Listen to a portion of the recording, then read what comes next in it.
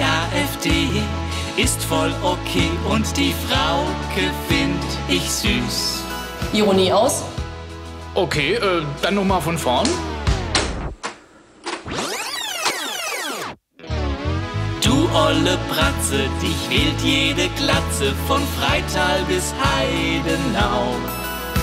Ne Nazi-Vokabel findest du respektabel, du Brandstifter Biederfrau.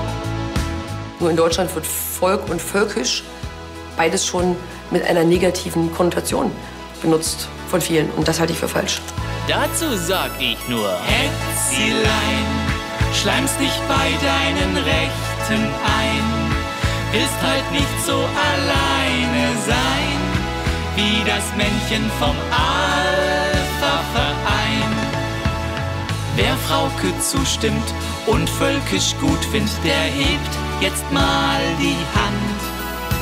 Tabubruch ist geil, na dann Petri Heil beim Fischen am rechten Rand. Du bist einfach ein Hetzilein, du lässt nicht gerne Flüchtlinge rein.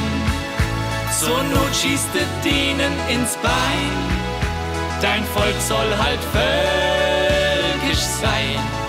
Apropos, was sagt eigentlich das völkische Volk selber dazu? Ähm, und Ah ja.